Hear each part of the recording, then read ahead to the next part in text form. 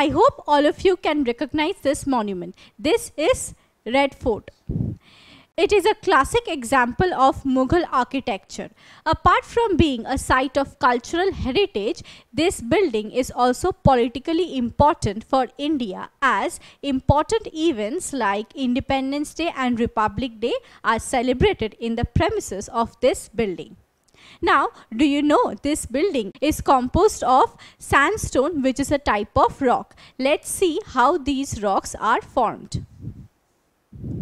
These rocks are formed due to weathering and erosion of pre-existing rocks. We know natural forces like rivers erode the land surface when they flow over them. Now, in the upper course of the river, the size of the eroded particles are larger like in case of gravels. Now, the size of gravels keeps on decreasing due to friction and they can become as smaller as sand particles and further due to further erosion and friction, their size reduces and they become as tiny as clay particles.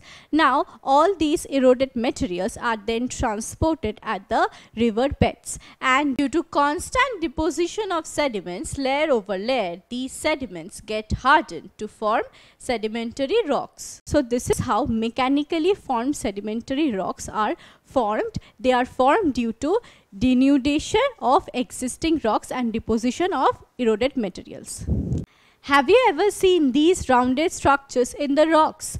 These rocks are called conglomerates. Now, conglomerates are usually found along the river beds and these rocks are examples of mechanically formed sedimentary rocks. Now why these materials have rounded structures? This is because as I have discussed just now, these rocks are eroded and carried by the river and due to friction they acquire these rounded shape. If you remember, I mentioned in the beginning of this video that Red Fort is composed of red sandstone and sandstone is another example of mechanically formed sedimentary rocks. These sandstone have finer particles because they are formed due to continuous erosion by natural agents like river or wind. Thus, conglomerates and sandstone are examples of mechanically formed sedimentary rocks. Now, can you name two most commonly used fuels in our country? Thus, conglomerates and sandstones are examples of mechanically formed sedimentary rocks. Now, let's learn about another type of sedimentary rocks. Sedimentary rocks can also form chemically and therefore they are known as chemically formed sedimentary rocks. Sometimes in lagoons or any other shallow water bodies, water from loose sediments evaporates. So the intermolecular spaces between the sediments reduces and they become more compact to form sedimentary rocks. And these rocks are known as chemically formed sedimentary rocks and they are formed due to evaporation of salt water from loose sediments. Now in this picture we can see a part of our world map and this picture locates the Dead Sea. Dead Sea is located in the western part of Asia and near Mediterranean Sea. Now Dead Sea is a storehouse of chemically formed sedimentary rocks. This is because Dead Sea as you can see from the picture is located near the Tropic of Cancer. So, this region is subjected to high rate of evaporation and the water is also very saline. So, due to rapid evaporation of salt water from loose sediments, chemically formed sedimentary rocks are formed here. Thus, Dead Sea is a storehouse of chemically formed sedimentary rocks. Now, can you name two most commonly used fuels in our country? Yes, they are coal and petroleum. These two minerals have high economic value and they are widely used as fuels. Now, these two minerals are also called fossil fuels. So now let's see how they are formed.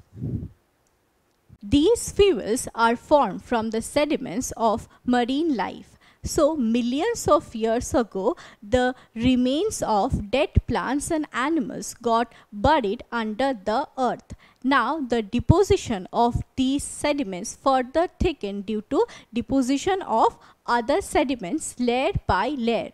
Now the depositions of sediments got hardened due to pressure from the overlying layers of rocks and finally they formed organically formed sedimentary rocks. Now petroleum is mainly from from the remains of marine animals while coal is from from the remains of plants. Thus organically formed sedimentary rocks are formed due to decomposition and sedimentation of dead organisms. Now here we have the classification chart of sedimentary rocks. Sedimentary rocks can be classified into various types depending on how they are formed. The first type is mechanically formed sedimentary rocks. Mechanically formed sedimentary rocks as we have discussed earlier are formed due to weathering and erosion of pre-existing rocks and deposition of eroded materials. Some examples of mechanically formed sedimentary rocks are conglomerate and sandstone.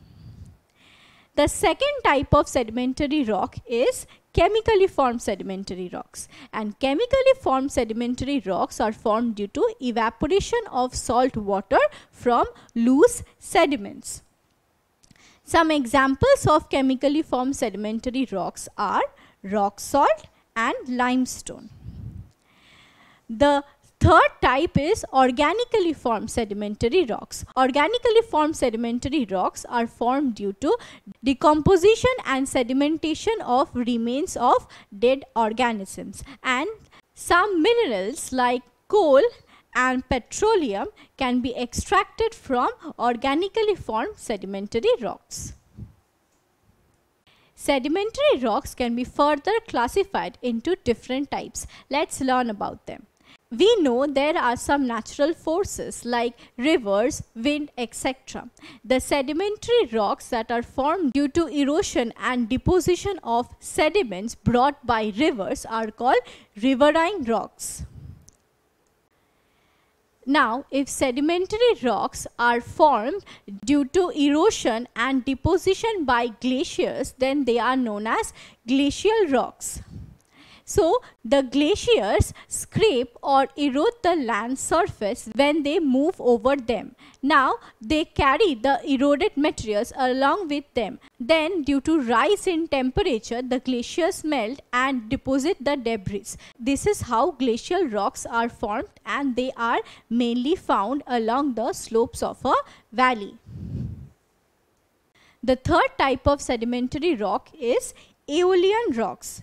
Aeolian rocks are formed due to erosion and deposition of sand sediments by wind. So when wind blows over a land surface, they carry loose sediments like sand particles along with them. And when the flow of a wind gets obstructed by an obstacle, they deposit the sediments and these leads to the formation of aeolian rocks.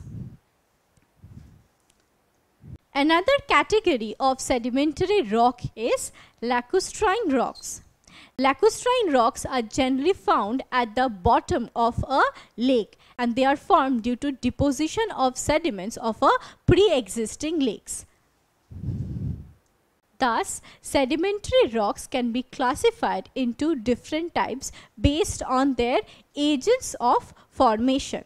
The first type is riverine rocks and riverine rocks are formed by agents like rivers. Glacial rocks are formed by agents like glaciers. The rocks that are formed by wind are called aeolian rocks and the last category is lacustrine rocks. Lacustrine rocks are formed by agents like lake.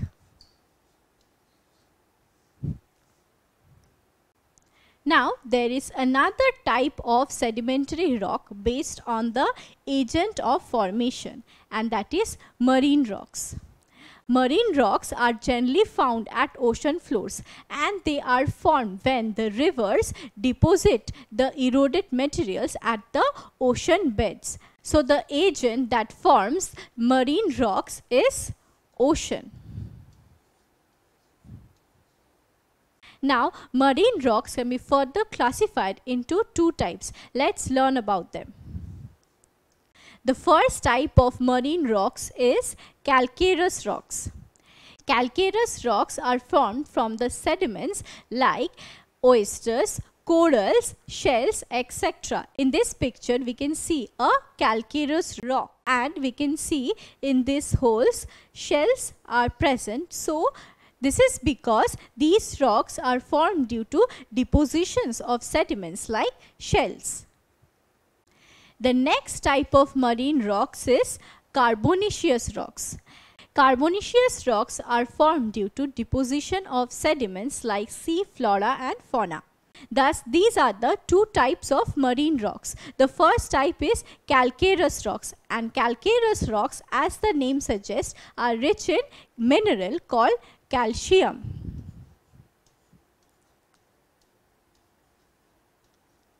while carbonaceous as the name suggests are rich in mineral called carbon.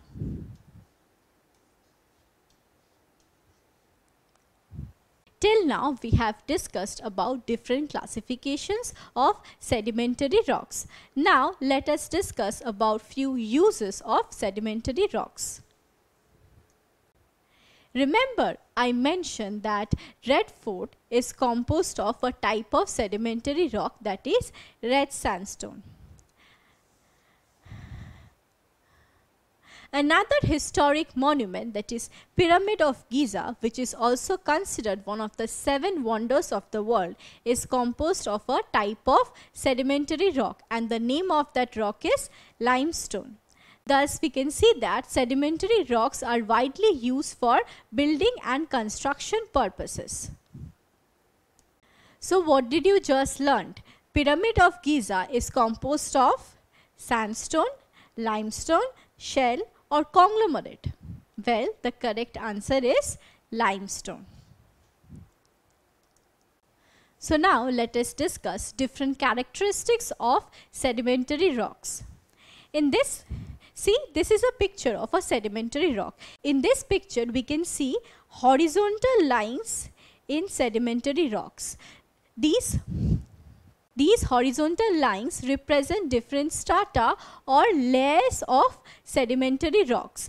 We find these layers or strata in sedimentary rocks because sedimentary rocks are formed due to deposition of sediments layer over layer. So, sedimentary rocks have these layers and therefore they are also known as stratified rocks.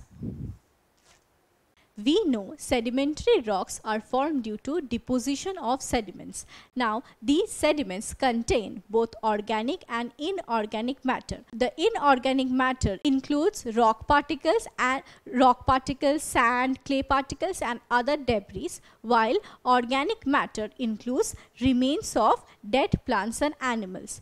Now we already know what are fossils. Fossils are remains or traces of dead plants and animals. The remains of these dead plants and animals got deposited in the layers of sedimentary rocks along with other sediments and led to the formation of sedimentary rocks and therefore sedimentary rocks contain fossils. While discussing the characteristics of igneous rocks, I discussed that igneous rocks are generally crystalline as they are formed due to condensation of molten materials. But unlike igneous rocks, sedimentary rocks are non-crystalline because they are formed due to deposition of sediments and these rocks are also softer than other rocks, porous and permeable. So here we have different characteristics of sedimentary rocks contain horizontal layers, sedimentary rocks contain fossils and sedimentary rocks are soft, porous and non-crystalline. Now this map shows distribution of sedimentary rocks. So in this map, we can see that sedimentary rocks are mostly found all over the world. In fact, 75% of the earth's surface are composed of sedimentary rocks. So in today's video, we studied about different classifications of sedimentary rocks. We saw that sedimentary rocks can be classified into different types based on the way they are formed and based on the agents by which they are formed. Next, we studied about characteristics of sedimentary rocks. And finally, we saw the uses and distribution of sedimentary rocks. In our next video, we will discuss about metamorphic rocks. Don't forget to subscribe to our channel and hit the bell icon. You can also register for free at deltastep.com or download the Delta Step app to learn one-to-one -one with our amazing teachers or to get access to our 5000 amazing videos as per your school syllabus. Master each topic with our adaptive practice technology. Get million plus questions with step-by-step -step solutions and unlimited mock tests. Get all your doubt resolved instantly. Learn via games and win amazing prizes like PlayStations and iPads. So at Delta Step, learning is not just fun and easy, but it's rewarding too. So register for free now.